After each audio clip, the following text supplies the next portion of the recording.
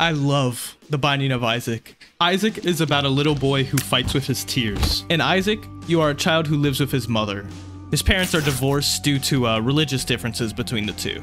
Uh, you know, uh, Isaac's father believed in science, was an alcoholic, and seemed pretty fucked up in the head. And uh, Isaac's mother is a pilled up lady who preaches the word of God and is completely Isaac! fucking nuts. So, Isaac is pretty much the average American household. Isaac uses art to vent his frustration with the world, and his mother is uh, very against it and believes Isaac is like the spawn of Satan or something. Then, when an angelic voice speaks to his mother, telling him that Isaac must be made a sacrifice, Go into his room and end his life as an offering to me to prove you love me above all else.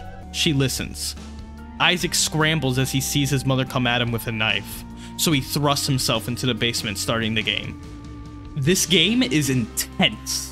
Made by Edmund McMillen, a man who basically dedicated his life to making fucked up shit, every design in this game adds to the atmosphere of putrid, gory, immature, edgy shit.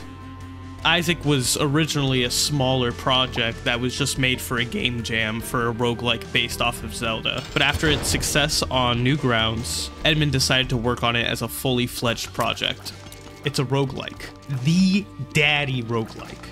This game inspired the onslaught of roguelikes that we have today. In the game, you get different items, which usually maybe have cool effects, and there are hundreds of them. 716 to be exact. Each one transforms Isaac into new beautiful styles. Just uh, tell him he looks pretty. He has uh, self-image issues. There's a boss at the end of every floor, and once you beat it, you get to move on to the next. Each of these floors are very unique. Some examples are basement and uh, catacombs and uh, depths. Wasn't there?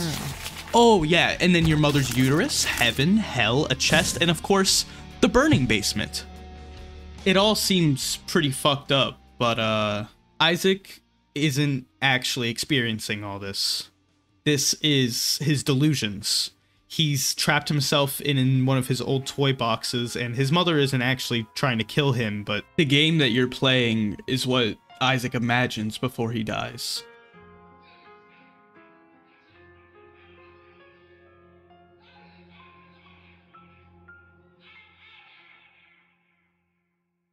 When you start the game, you have several different characters to choose from. Each character is pretty unique, uh, kinda. I mean, each character does have their own general idea to them, but it's not until you unlock the tainted characters that they get run changing.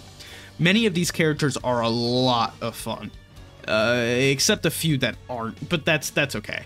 Speaking of the characters changing each run, the 716 items are definitely going to be changing up your run. This is the main way that the game will spice it up. Sometimes you're running a full HP build where your defense is steel and you're able to make constant sacrifices to quickly snowball your run. Sometimes you have minions that are running around draining your enemies. Sometimes you just kind of like fucking suck. Like, uh, here's your mom's bra and a bottle of pills. I wish you luck. The variety in the items and all the different ways certain items interact with each other is the main driving point in Isaac. These items are the peanut butter in a peanut butter and bread sandwich.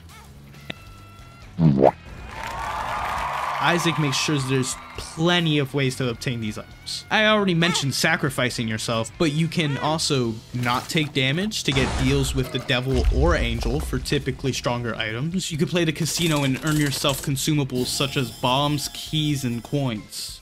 If you obtain a lot of consumables, you can find yourself the secret rooms of each floor, which have chances for good items.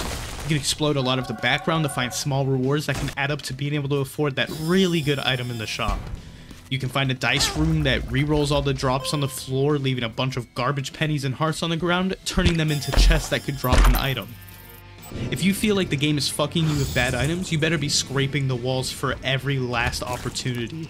Because if you don't, then it's your fault, not the game's. The worst part about all these cool items is when you start a new run, now you're bored as hell because you're normal again.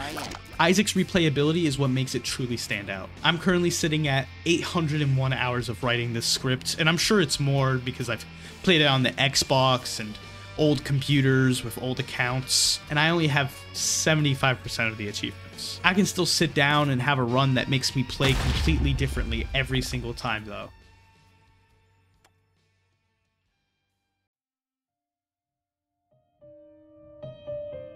Isaac what are you drawing? Isaac, let me see it. Give it to me now. This is what you think of me? This is what I am to you? A monster? After all I've done for you, this is how you view me? You think I'm a monster, Isaac? I'll show you a monster! No, no, please!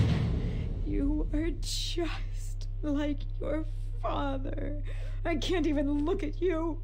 How could you? You are just like him. Ah! And instead of looking inside herself to ask why her son would think like this, she blames it on society and his father. So she takes away everything from him to try to, you know, rid him of sin. So Isaac is launched into his closet and he finds comfort in his toy box.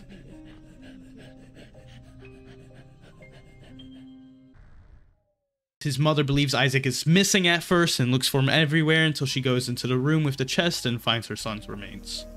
It's gritty and it's dark, but Edmund McMillen is a master of this type of story, and when I had spent so much time with this game, when I reached the ending, I, I cried.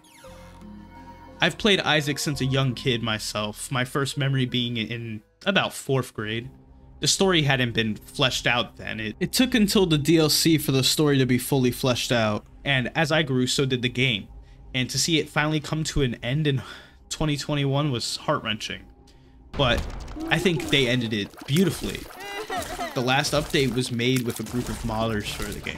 Edmund didn't even want to do another DLC, but when he saw their mod Anti-Birth, he knew he had to implement it into the game, and it inspired him to create more for his game. Edmund saw their vision and wanted to bring it to life. That is what a developer should be. Someone who wants to spread a vision they have, bring their creativity to life. Fuck all these AAA titles, fucking Assassin's Creed 1, 2, 3, 4, 5, 6, fuck you.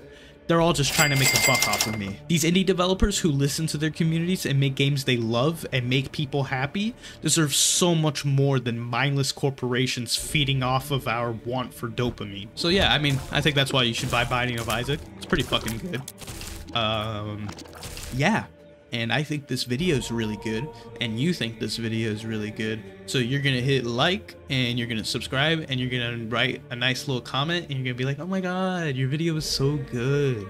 And I'm gonna be like oh, I know. Thank you. And uh yeah man I, I I hope you guys have a good day or night or whatever